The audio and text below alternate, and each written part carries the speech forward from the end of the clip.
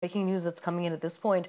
We're learning that uh, TMC's Mahua Moitra has made a jibe at the poll panel. She's actually questioned one nation, one poll, saying no polls in Jammu and Kashmir during the Lok Sabha elections. How will the Election Commission hold simultaneous polls in all states? Now, remember, she's not the only leader to question this. We've also seen leaders from Jammu and Kashmir, especially Farooq Abdullah, make the same uh, bring the same question to light. Now, Mahua Moitra has also fired the Agniveer security jibe at the Election Commission, saying, will Agniveers then be used for poll security? Now, the reason that she's saying this is because one of the reasons cited for not holding the J&K elections right now is that there's not enough security in order to ensure that the J&K elections take place in the manner that the EC wants them to take place. We're crossing over to my colleague Pradeep to get us more details on this. Uh, Pradeep, tell us more about the significance of what Mahua Moitra is saying. See, everybody knows that Mahua Moitra is carrying a kind of a grudge against this present government, and that's one of the reasons that she's trying to hit under the belt and trying to politicize uh, Agniveer, the bravehearts who have been deployed on the border to take care of the security and integrity of the country.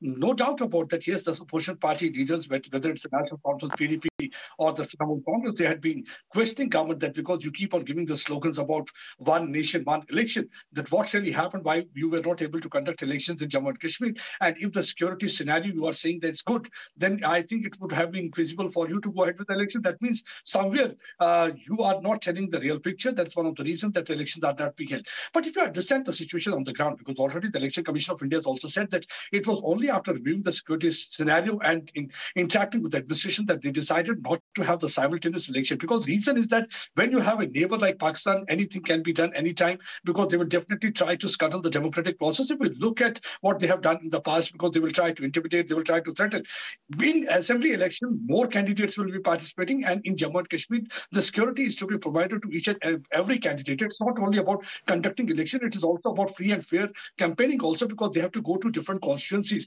There are certain areas where still the terror presence is there. So in such a situation, even one small incident can demoralize. It becomes very easy for the politicians to sit in the ivory towers and give, get, give a kind of a statement like Mahua Moitra because she had never been to Kashmir Valley. So she will not be able to understand the situation. But unfortunate thing is that she's trying to open Agniveer. These young boys, they are defending the borders of the country and they are there uh, taking bullets on their body, standing like a rock. Why to politicize them? Every time what uh, these uh, politicians are doing, they try to hit out of the government as an opposition party leader. They have every right to do so, but not to politicize uh, these our brave hearts who are defending the nation and who are defending the dangerous front lines of the country. But she's trying to rope in uh, Agniveer because she's one. She's trying to criticize the Agniveer policy that Agniveer. Absolutely. No Thank you so much for joining us and telling us more about the significance of that statement. We'll have to leave it there for the moment because there's more breaking news that's coming in. We're learning about a